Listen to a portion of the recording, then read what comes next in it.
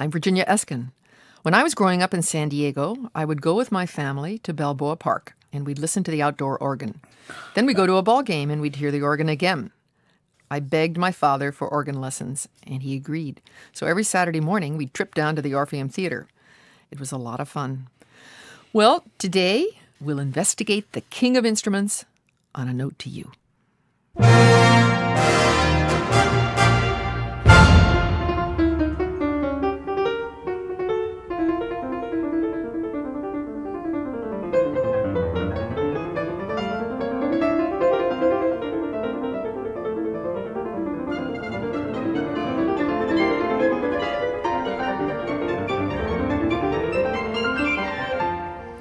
To lead us on our investigation, I've enlisted a qualified guide Boston keyboard artist Joseph Payne. He's an organist, harpsichordist, he does practical research, and he performs in a historically informed way. What does that mean exactly, Joe? Oh, it means that I read books before I do my playing and things like that. No, it sounds it sounds horribly stuffy, but really it isn't. It means that one brings to bear on a performance a certain historical perspective and a, a view of the musical instrument or the repertoire within the context of history. I think that's the simplest way. Were you always it. interested in history as a boy? Yes, yes. Oddly enough, uh, and it's normal that I should gravitate towards uh, instruments such as the harpsichord and the clavichord and the organ rather than the piano, simply because these are instruments that, within the present scheme of things, uh, one views very much from the perspective of history. Well, let's sort of clarify what is a pipe organ? Well, a pipe organ, as opposed to, I suppose, other sorts of organs, which um, don't really concern us today, uh, is basically a collection of pipes that are made to sound primarily through the use of a keyboard. And uh, these are instruments that can range in size uh, from just a few hundred pipes to many, many, many thousands of pipes. And the largest, for instance, pipe organ in the world, which is an instrument in Atlantic City, has uh, over, I think, 30,000 pipes. Um, and one of the smallest but most loveliest organs that I've ever played, on the other hand, is a, is a little organ in uh, the town of Ohrdruf, where Johann Sebastian Bach spent time as a 10 year old. And it's an organ that he used to practice on as a child. So that's fascinating. You've concerned yourself then with the the sort of 300 year period from the very beginning of organ sound? 1300? Around 13, yes, around even before that. But I'm talking about mainly the repertoire, the music that was specifically written for the for the organ. Uh, one can date safely to about 1350 or thereabouts. And you have to remember, of course, that the organ uh, is the only instrument, keyboard instrument that is, uh, which spans, you know, a seven, eight hundred year period of, uh, of, of existence. It's never gone out of popularity. It's never gone out of well. It's not never gone out of use. It may have eclipsed itself here and there, but unlike the harpsichord or the piano, which have relatively short histories, uh, the organ really has spans the whole gamut of music of Western musical history. Well, let's hear a little bit of sort of early music. Let's hear a recording you've made on a um, instrument that lives here in Brookline, Mass. This is a Bach work.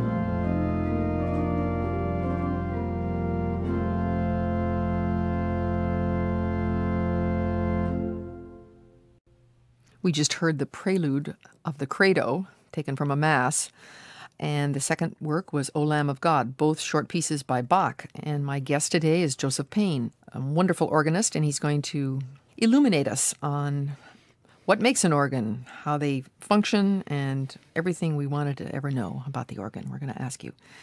What was the earliest pipe organ? Well, uh, this is an interesting thing, of course, the pipe organ, which has such a long history. And the, the two examples that we just heard, incidentally, would be representative of instruments in the middle of its period of development, roughly around 18th century. But going back, way back to, let's say, the 13th or 14th century, uh, you'd have an instrument that was made to sound in exactly the same way. Uh, you'd have basically a pipe. Um, that was made of one of two ways, either as a a flue type uh, affair mm-hmm. or as a reed type affair. It was a pipe in which which resembled the oboe, for instance, where there was a a reed across uh, its mouth, and when the air went by it, of course, it forced it to vibrate. And this is something that uh, extends throughout the entire period of the organ's history and is as common at the beginning as it is at the end. It is presumed, actually, that the earliest organs may have been, that we know of, may have been in Britain, of all places. And the, the oldest organs that we know about, that in which there is extensive documentation, were instruments, for instance, in Winchester Cathedral and also in places like Halberstadt Cathedral. In, uh, but going further back than that into antiquity, of course, you have the famous water organs, uh, which the Romans used. And there are uh, there's evidence of this, which has been found in places like uh, like Hungary. Rather than being powered by air, they were powered by water, and of course that's your steam organ, which still yeah. exists in, in its Shades of circus. Ben Franklin's exactly glass the, harmonica, yes, which yes, also indeed. is. So all of the all of the various elements of the universe um, are sort of endowed in this very mystical instrument, which uh, has a fascinating history. And it makes you feel better somehow when you hear an organ. Is this kind of a settling quality? Well, those are all, of course, all the psycho psychological factors that work for and against it. For instance, uh, I talked to somebody who said, "I hate organ music," and I said, "Why?" Well, it reminds me of funerals, and of course, this is the experience, the extent of the experience that a lot of people have. They're giving themselves away. I think so. they should have gone to more baseball games. well, as organs evolved, then composers kept track with the evolution of the manufacture? Yes, it becomes a chicken egg sort of situation. The the composers of organ music uh, demanded certain sounds from an instrument, so the people who built them went out and tried to do their best uh, to accommodate the composers. Or the inventive builders would find new sounds and challenge the composers with them. That's always um, a nice. And this is always this is the, of course the history of musical instruments. Right. You know. The synthesis. Yes. Of, yeah. Well, let's listen to another of your recordings. This is Pachelbel, and we were just going to play the toccata, and then we happened to listen to the fugue, and we decided they are delicious, so we're going to play both of them: the toccata and fugue in C, played by Joseph Payne.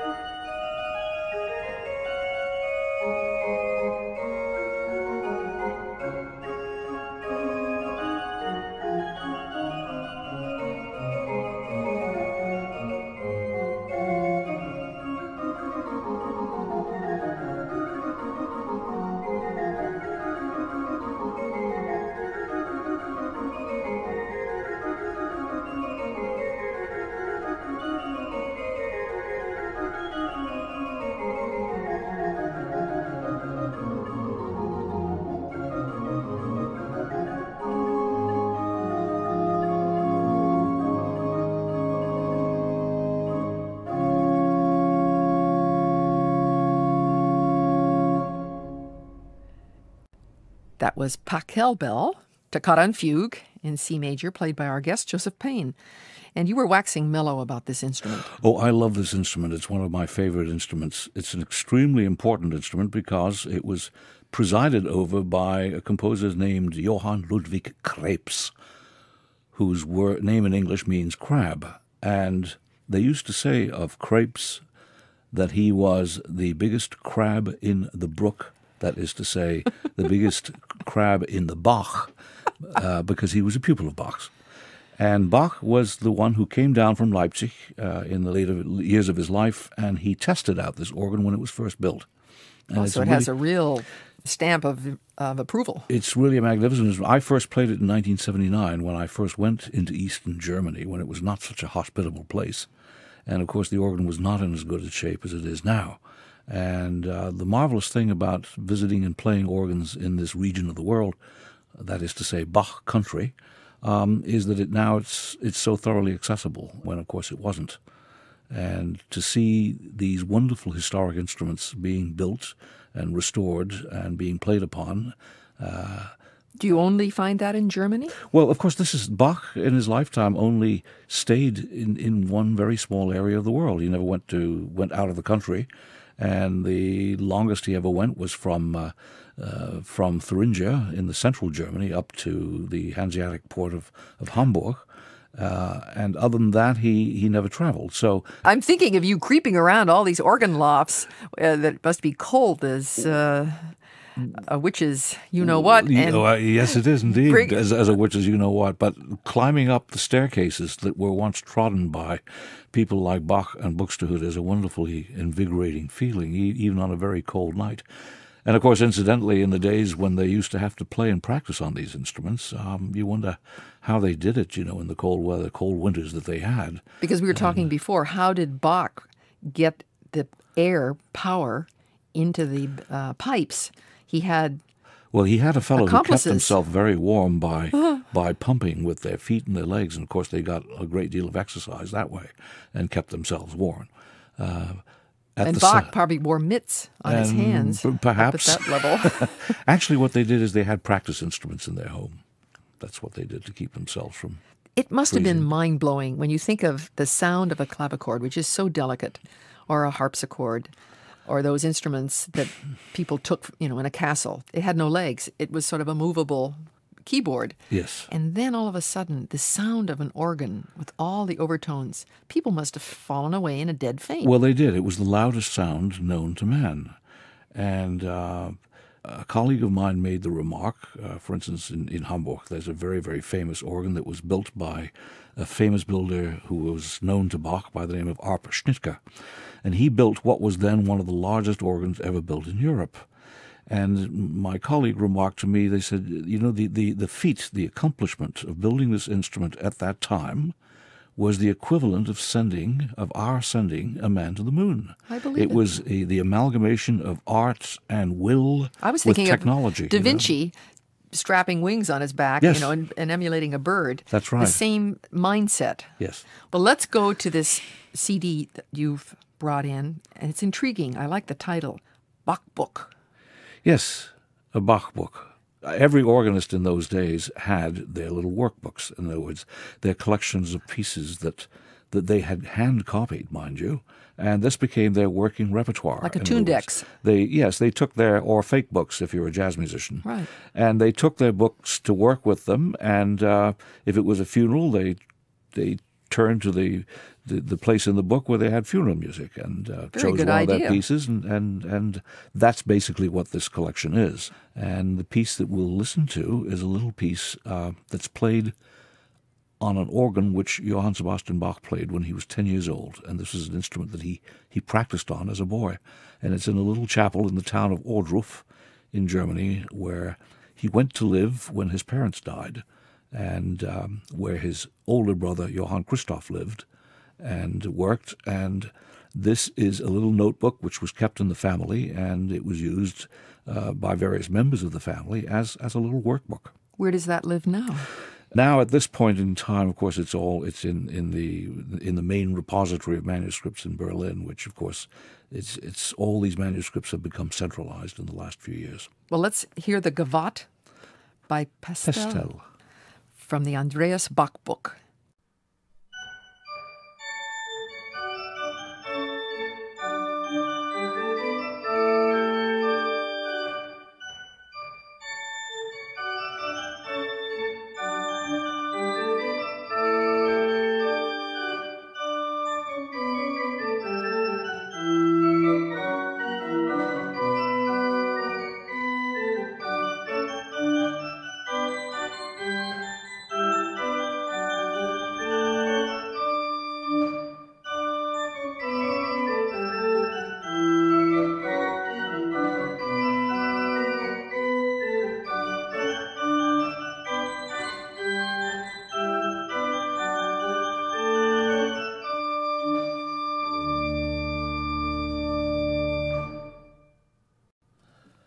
Guest, Joseph Payne, who's enlightening us about organs, organ music, organ manufacturer, and that was a little gavotte by Pestel.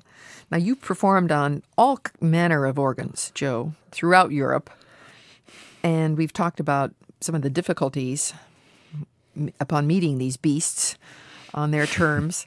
Do you prefer to play older instruments to modern ones? Yes, I do, because I think no matter how good the, the new ones are, and there's some, you know, very, very wonderful instruments made by modern builders. Don't get me wrong. There's something very special about an experience when you when you're playing the instrument that the composer himself played.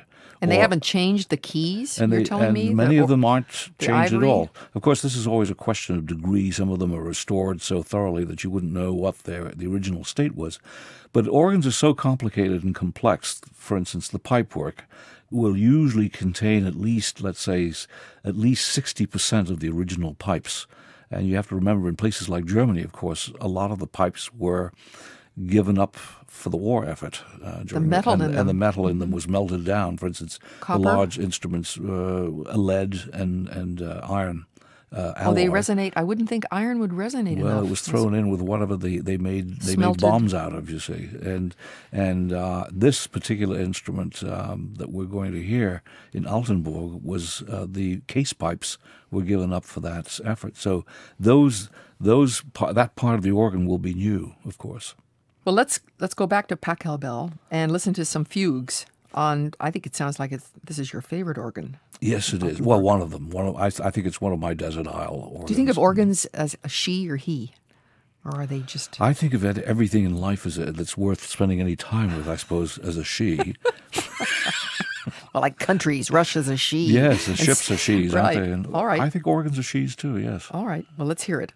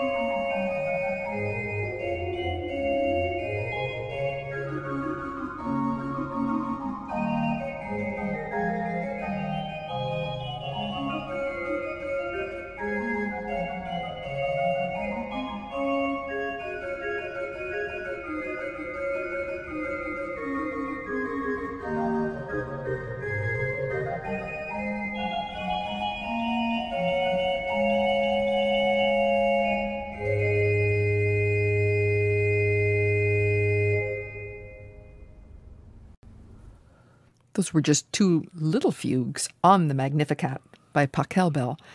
And you said that he wrote about 95 of those? Yes, he wrote 95.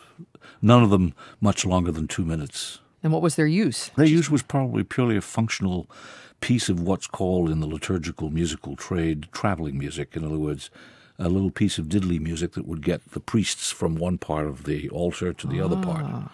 And probably nothing more than that. Like a soundtrack. Like a soundtrack, yes. And could you, what is a register? A register is a, is a, a set of pipes that have a particular quality of, of sounds and are voiced a certain way. Kind of So woofy or singy? woody, woofy, or, singy, or tweety, or you know whatever character is imbued on them. The flavor kind yes, of, of the sound. and it's a complete set. In other words, it goes from the lowest note of the keyboard, so to speak, uh, generally, to the highest note of the keyboard. And so an organ's size is generally thought of as being such and such a number of registers or stops. It's used interchangeably because this tells you how many voices there are in the organ. It doesn't tell you how loud the instrument is. and In then a manual. a manual is the keyboard. That's the keyboard from which the stops are operated. In other words, made to, made to sound. Uh, an organ can have anywhere from, let's say, one stop or two or three at the, the smallest instruments, all the way up to over 300 stops, which is the largest organ in the world. And uh, Plus, you have to uh, educate your feet. I remember that was the hard part for me. and they're play, they're played by you know two hands and occasionally the nose and and two feet. Do you wear special organ shoes? One can. Uh, depends on how the pedal keyboard is made, the pedal board, whether or not they're Soft uh, soled shoes so you can sort of. You slide, Yeah. uh, you slide feet to toe. But now we're getting into a television show. You see. Well, let's go to one of your more recent recordings of the Dublin virginal manuscript.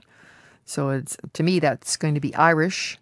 I now we're talking about we're we're we're we're jumping now into the 16th century. Uh, in England, actually, this particular collection of pieces. There again, all these books and manuscripts they were they were collections of music, either by one composer or several, but always in, usually in uh, in copied by one person.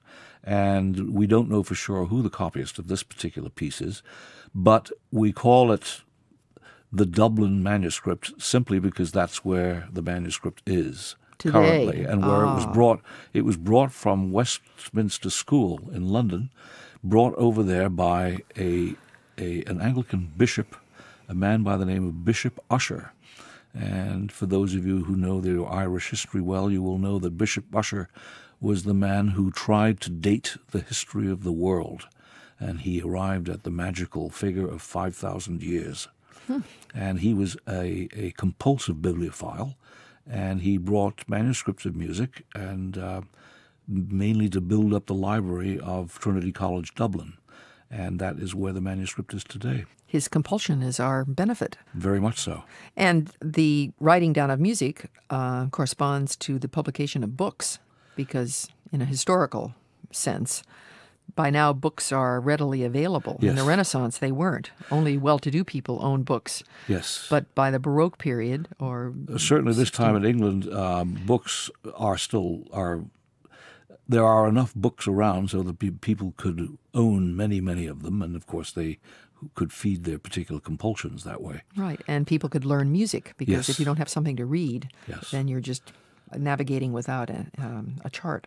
by this period, roughly around uh, oh, roughly around 1600s, um, music printing had only been around for about a hundred, less than a hundred years. I mean, you have, the idea of movable type in music was still comparatively young, but at least it did allow the dissemination of music, and people didn't have to copy things by hand over and over and over again. Or train like in a guild at the foot of a master. You Exactly, could. yes. Um, There's more travel. The world is opening up. It's not the Yes. age of enlightenment, but we're getting there. And I I love uh, listening to this recording of yours, Joe. The magic of the pavan, because you you uh, put them in all kinds of interesting order.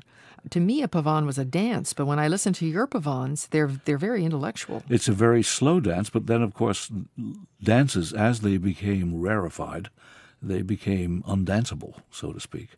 And the pavan, allemands, courants, all of these dances, by the time they become used as keyboard forms, uh, they are far removed from the realm of the dance, uh, literally speaking. And the, the of course, was uh, uh, were written by composers during the Elizabethan period, mainly um, to flatter uh, various um, noble personages. So you have things such as the Earl of Salisbury's Pavane and the Lord Lumley's Pavane and so forth. The Earl of Sandwich. And the Earl of. While he's eating his sandwich. While he's eating his sandwich, we're listening to his Pavane. There you are. well, let's listen to your Pavane. Master Taylor, it's called. Here's Joe Payne playing it.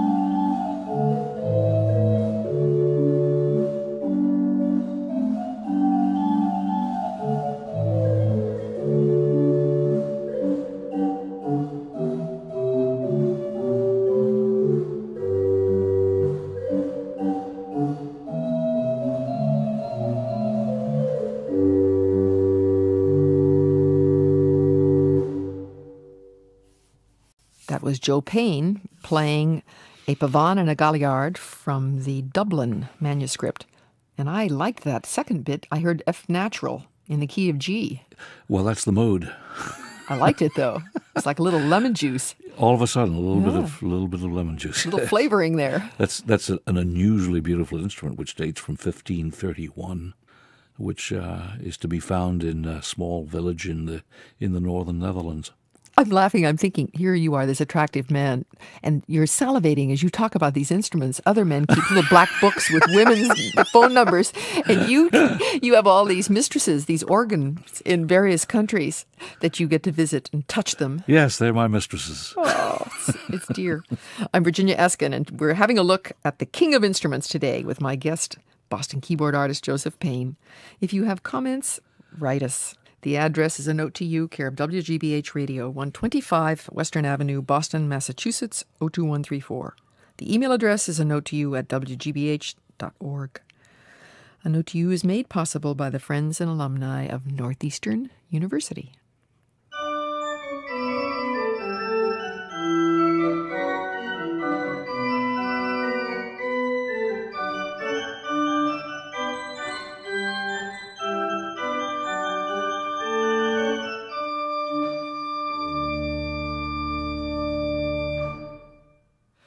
Well, now we're going to jump into another realm, Joe.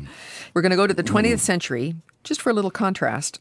And there you are sitting uh, at your dear little organs. Are they comfortable at least? The seats that you get to sit on? Or? the benches are always the same, and they have been. The benches never change. They're just hard boards. So do you take a little pillow? We take a little pillow usually, or a little something which helps us actually to slide. What's that made of? Special A little cloth? piece of cloth or a little. Sort of like the little- thing that violinists put under their neck. Precisely, a little, a little, a little sort of. Uh, what was that? That character in Peanuts always had a cloth. The Linus Oh, yeah. had his um, His banky. his blanket. Yes, and my son had one when he was Pavarotti has a he- filthy he was- handkerchief that he can only sing yes, with, apparently. something that you carry along with you. Or Right. In my case, my wife sewed me one, a very pretty one, which uh, always accompanies me. Well, I don't know if this organist has one, but I'd like our listeners to hear one of the, it's supposed to be one of the great organs of the world. It lives in Los Angeles at the Congregational Church. Oh yes. And this is um, a piece by Sir William Walton, Coronation March from the Orb and Scepter. And it's played by David Briggs. Um, Wonderful fellow, yes. Do you know him? Organist. Oh, yes, very well. Really? He's the organist of Gloucester Cathedral in England. well, here it is.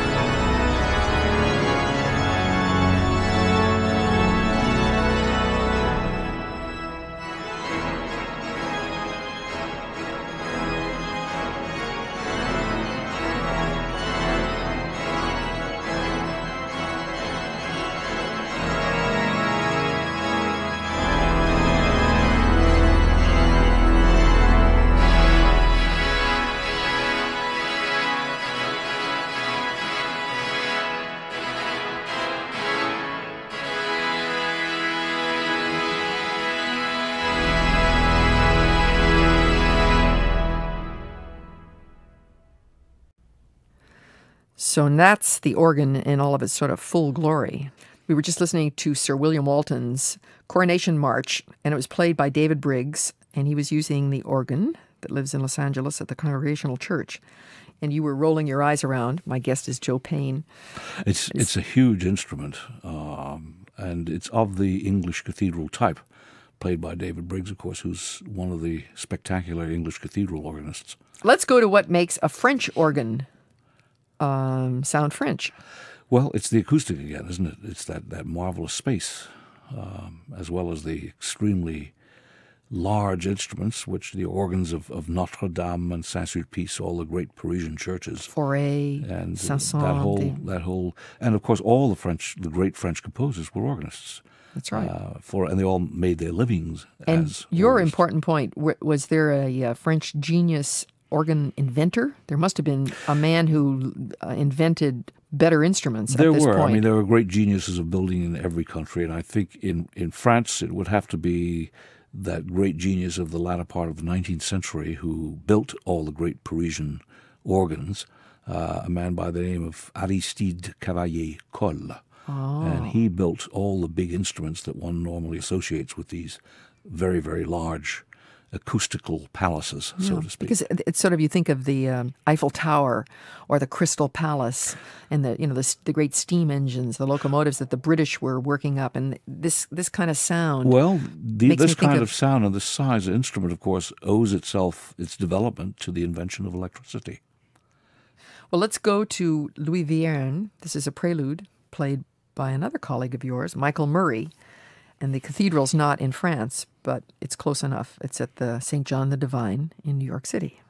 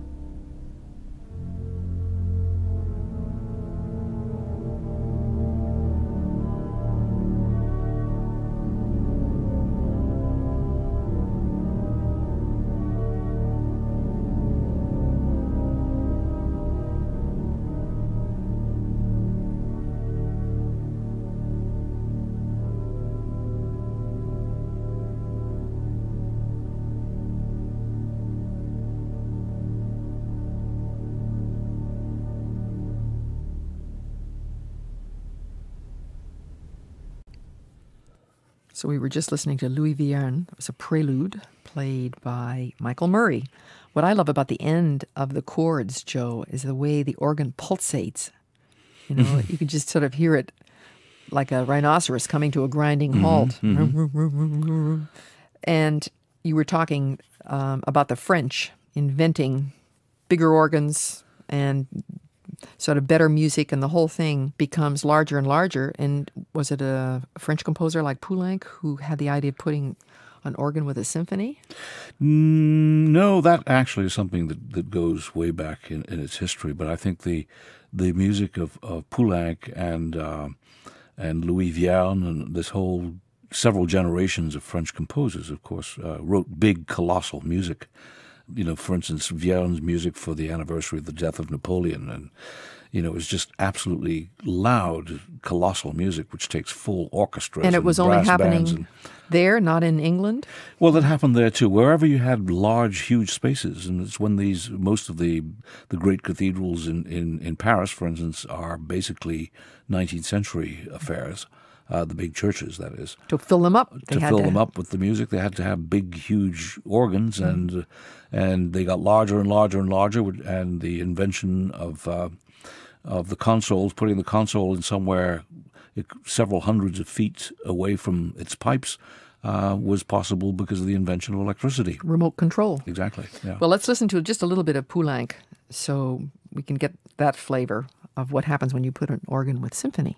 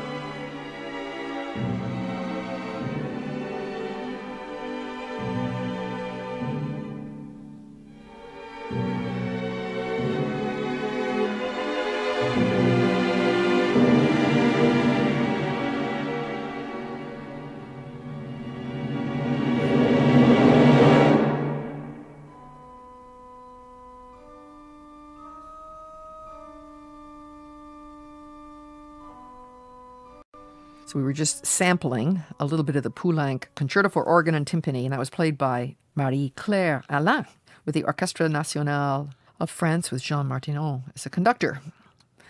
And now we're going to sample something that's far from your dear little country churches. Here's Strike Up the Band with all of its bells and whistles.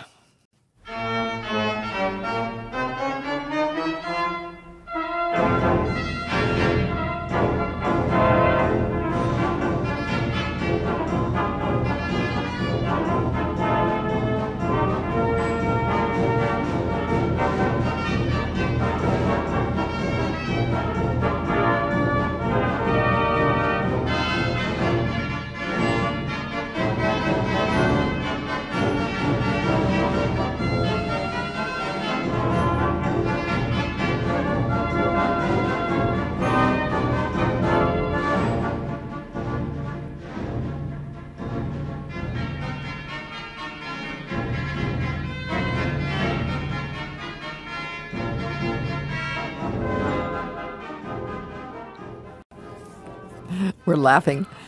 It sounds like we're at the circus there with that organ. Well, this is this is a very important facet of the history of the organ. Uh, its use in the movie palaces and, and in the circus also. Uh, the calliope or the is is a very close cousin of the mighty pipe organs that Bach played. It makes me smile. It makes me think of having a good time. And we were just remarking that when you hear the organ, it's very pictorial. I mean, if you hear a violin, you think that's beautiful, and you imagine the person playing the violin. But the organ, and why is that? It seems to evoke images always, and I think it's part of the the fact that it was used that way for so long. I mean, uh, you know, whether it was in the the great movie palaces of the silent film era, or um, radio programs in the 30s and 40s, um, where you My had, wife, Bill. Yes, and the, this creeping Hammond organ music in the background. I mean, it's an instrument that was used to evoke certain images and certain moods. And this, I think, has had its good as well as a bad effect on, on the way we perceive the instrument.